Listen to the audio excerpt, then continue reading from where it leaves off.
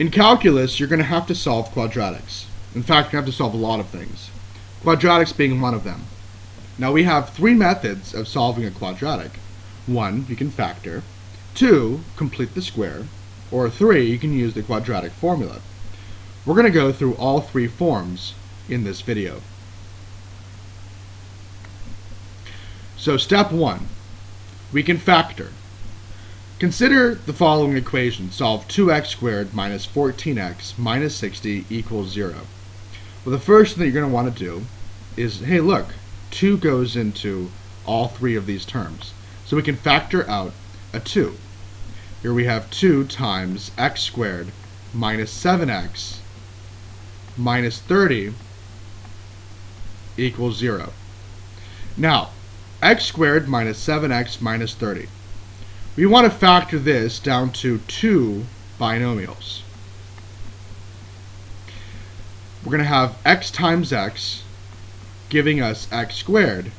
But now I want to find two numbers that multiply to negative 30 and add to negative 7. So, we're going to multiply to negative 30 and we're going to add to negative 7. The two numbers that multiply to negative 30 and add to negative 7 are negative 10 and positive 3. Because negative 10 times positive 3 is negative 30, and negative 10 plus positive 3 is negative 7.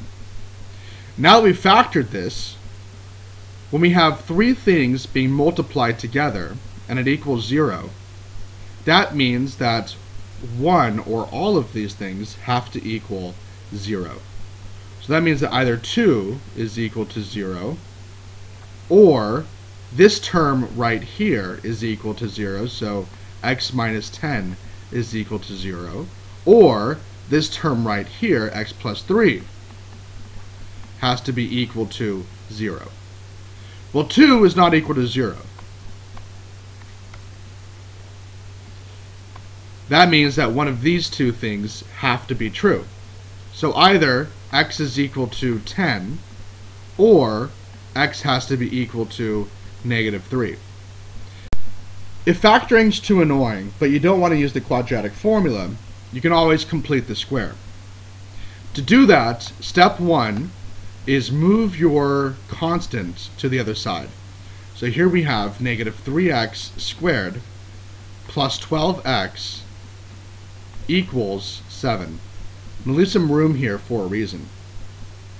Now we can only complete the square if the number in front of x squared, the coefficient of x squared, is 1. So somehow we have to move this negative 3 out of the way. To do that, we can factor it out. We'll factor it out of here as well.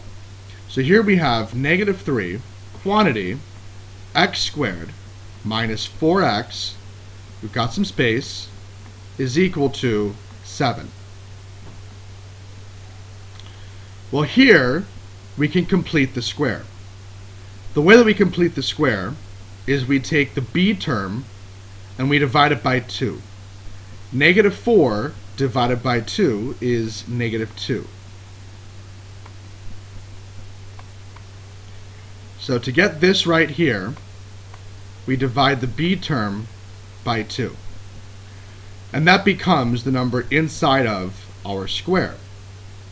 But then we have to add something inside of this polynomial in order to complete the square.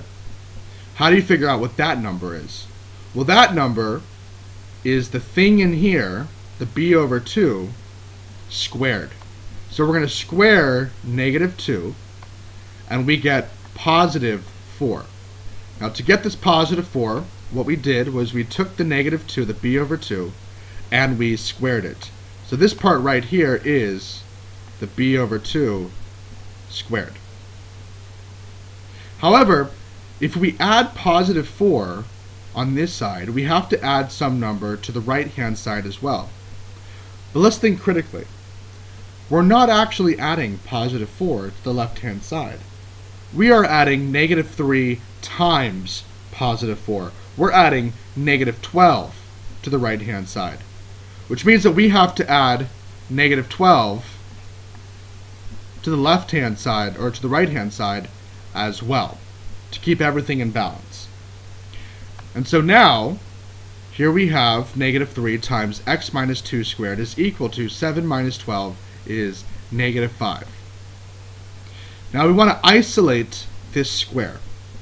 To do that, we'll divide negative 5 by negative 3. So here we have x minus 2 squared is equal to 5 over 3.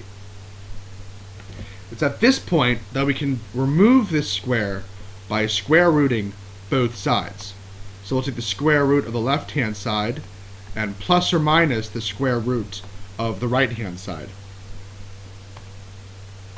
This gives us x minus 2 is equal to plus or minus the square root of 5 over 3. And finally, here we have x is equal to 2 plus or minus the square root of 5 over 3. Now I know that in algebra and in classes past you've had to rationalize your denominator. And way back when, when we used slider rules, it was extremely important to rationalize our denominator. However, now, not so important. We just plug into a calculator. And so, I'm not going to rationalize any denominators in this course. And right here is the equation, or is the answer, the two answers. 2 plus root 5 over 3, and 2 minus root 5 over 3. Finally, we can solve equations using the quadratic formula. In fact, this is probably what you'll use over the other two. So, our quadratic formula says x is equal to negative b plus or minus the square root of b squared minus 4ac all over 2a, where the coefficient of x squared is a, the coefficient of x is b, and our constant is c.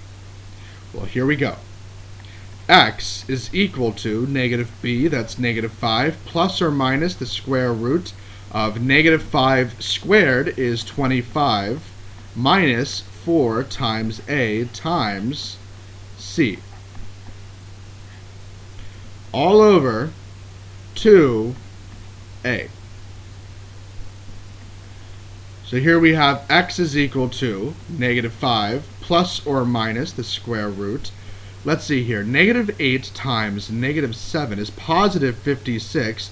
25 plus 56 is 81. And this is all over 2 times 2 is 4. So here x is equal to negative 5 plus or minus 9 over 4. Now negative 5 minus 9 is negative 14 over 4 is negative 7 over 2. And negative 5 plus 9 is positive 4 over 4 is positive 1. And so here are the two solutions, x equals negative 7 over 2 and x equals 1.